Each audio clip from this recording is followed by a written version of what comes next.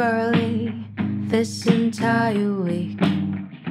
But the truth is, I never fell asleep. Ooh, insomnia.